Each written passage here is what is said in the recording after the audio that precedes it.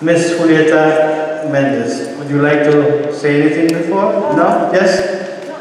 No? Please do. Just a handover. Okay.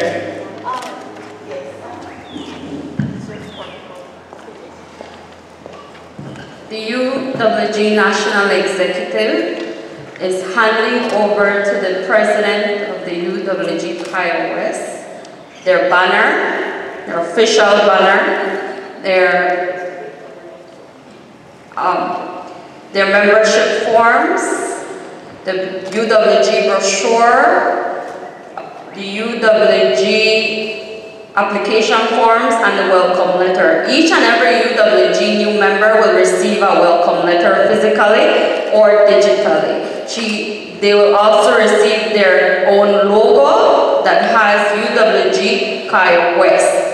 So in anywhere they go, they are to represent the UWG, a Belizean flag and a PUP flag. These assets are to be handed over at the end of your term to the National UWG.